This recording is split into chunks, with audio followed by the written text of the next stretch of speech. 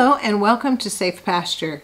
My name is Sherry Hammers and we are continuing on in our study of Andrew Murray's book called The Master's Indwelling. And I've forgotten to say in the last couple videos that um, that book was actually published in 1896. If you've watched any of the video of the Holiest of All that I just completed a little while ago, um, that that book was written in 1894. This one was published in 1896. So uh, I think it's really interesting. I didn't know that when I wanted to, when I just decided to do the uh, Masters Indwelling following that and not knowing that that was kind of chronological order uh, that God gave him these books. Anyway, we're going to continue on. Uh, this is part two of the self life. And he starts off in this next section. He says, Let us consider, first of all, the nature of this self life, then denote some of its works, and then ask the question how may we be delivered from it? Self is the power with, with which God has created and endowed every intelligent creature. Self is the very center of a created being. And why did God give the angels or man a self? The object of this self was that we might bring it as an empty vessel unto God, that he might put it into his life. God gave me the power of self determination that I might bring this self every day and say, O oh God, work in it, I offer it to thee. God wanted a vessel into which he might pour out his divine fullness of beauty, wisdom, and power. And so he created the world, the sun, and the moon, and the stars, the trees, and the flowers, and the grass, which all show forth the riches of his wisdom and beauty and goodness. But they do it without knowing what they do. Then God created the angels with a self and a will to see whether they would come and voluntarily yield themselves to him as vessels for him to fill. But alas, they did not all do that.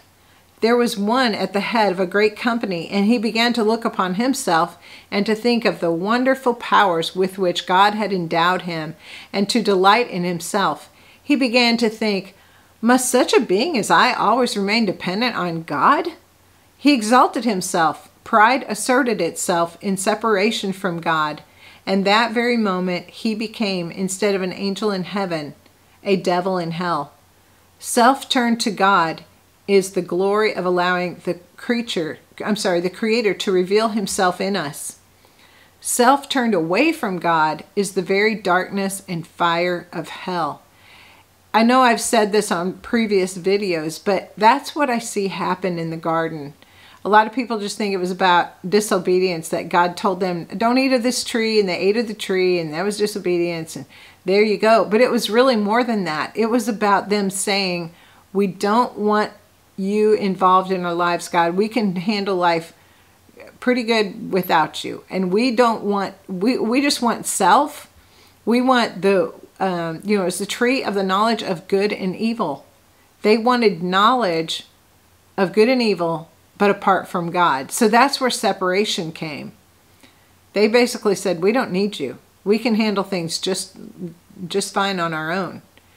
And so self turned away from God. And he said that is the very darkness and fire of hell. He said, "We all know the terrible story of what took place further. God created man, and Satan came in the form of a serpent and tempted Eve with the thought of becoming as God, having an independent self, knowing good and evil. And while he spoke with her, he breathed into her in those words the very poison and the very pride of hell. I thought that was a real good visual. You know, Satan's like he's he's talking as he's talking, there's poison entering her system. And uh, not that we'll get off on this, but you know, that's that's the power of the spoken word right? It says, I think it's Deuteronomy, death and life are in the power of the tongue, and those who love it will eat its fruit. Wow, there you go. There's the connection right there. It will eat its fruit. And Satan spoke death to her. He spoke death, and she received death into her very being. He says, His own evil spirit, the very poison of hell, entered humanity and it is this cursed self that we have inherited from our first parents. It was that self that ruined and brought destruction upon this world.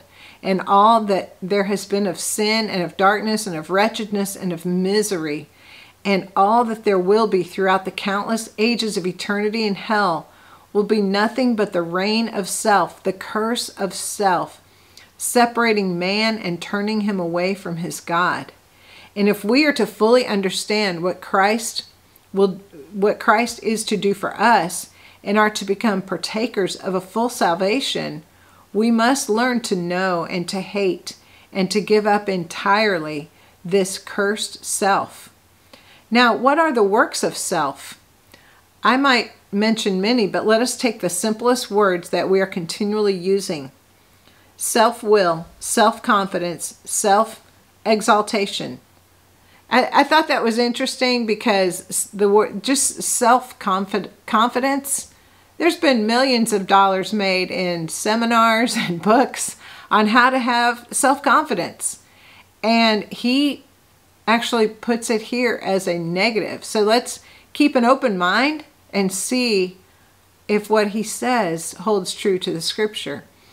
He says, Self will, pleasing self, is the great sin of man, and it is at the root of all that compromising with the world, which is the ruin. It is okay, let me let me rephrase, let me go back. Self will, pleasing self, is the great sin of man, and it is at the root of all that compromising with the world, which is the ruin of so many.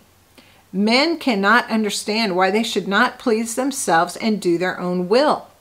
Numbers of Christians have never gotten hold of the idea that a Christian is a man who is never to seek his own will, but is always to seek the will of God as a man in whom the very Spirit of Christ lives.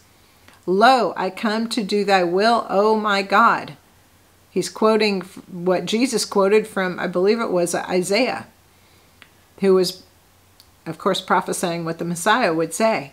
We find Christians pleasing themselves in a thousand ways and yet trying to be happy and good and useful. And they do not know that at the root of it all is self will robbing them of the blessing. Christ said to Peter, Peter, deny thyself. But instead of doing that, Peter said, I will deny my Lord and not myself. He never said it in words, but Christ said to him in the last night, Thou shalt deny me. And he did it. What was the cause of this? Self pleasing.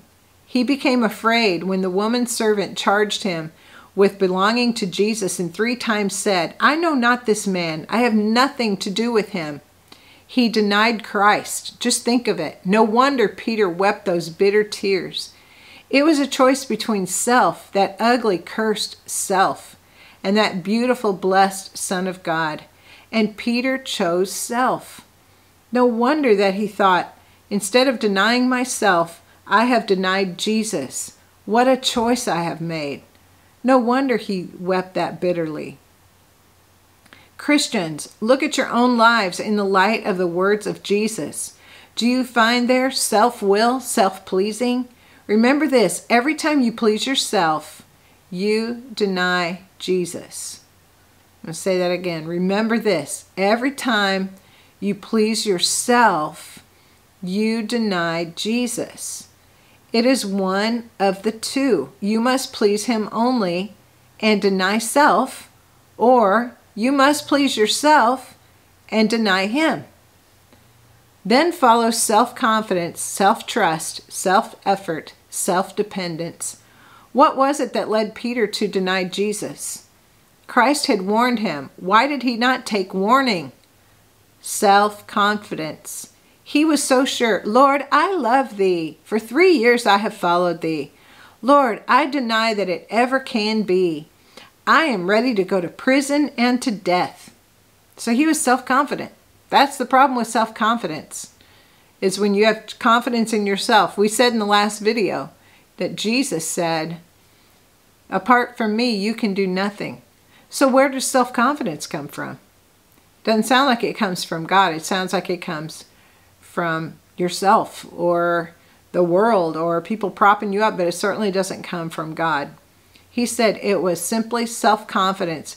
People have often asked me, what is the reason I fail? I desire so earnestly and pray so fervently to live in God's will. And my answer generally is simply because you trust yourself. They answer me, No, I do not do that. I know I'm not good, and I know that God is willing to keep me, and I put my trust in Jesus. But I reply, No, my brother, no. If you trusted God and Jesus, you could not fail. But you trust yourself. Do not let us believe that the cause of every fail in the Christian life is nothing but this. I trust this cursed self instead of trusting Jesus. I trust my own strength instead of the almighty strength of God. And that is why Christ says, This self must be denied. Okay, well, we're going to stop there today. We'll continue on next time. But before I go, I wanted to remind you about the, I'm going to be putting a link in the description about the movie The Sound of Freedom that will be opening in theaters um, July 4th. And if you have not heard about this movie, um, I'll just put it simply. It's about a true story of Tim Ballard, who used to be a Homeland Security pedophile. Uh, he, he would go after pedophiles and, and have them arrested. And God opened up for him to start rescuing the children because even though the pedophiles were being put in jail, the children were still in being trafficked. And so this movie is showing what can be done. And he really, a friend just sent me a video today about Tim Ballard. He's speaking, and he was totally led of God. And his wife, I didn't realize they had nine. They have nine children, and she was like, "You need to go rescue these children." Not knowing he was going into a war zone, her not knowing like the outcome of this, but God was telling her he needs to go, and he resonated with that and it's just incredible. You'll watch this movie and you'll be ready to strap on a backpack and, and go do something. But in the link, um, in that trailer, there's a message from Jim Caviezel telling you how you can get involved. They got crowdfunding going on. They really want to make a big splash at the theater. Um, they have worked for five years to get this to the theater because it's not a topic that uh, a lot of people want to address, but it has to be addressed, and we must do what we can to eradicate this scourge from off the earth. So I hope you'll tune into that and be led of the Lord to do whatever you can do. Thanks again for joining me, and I'll see you next time. God bless.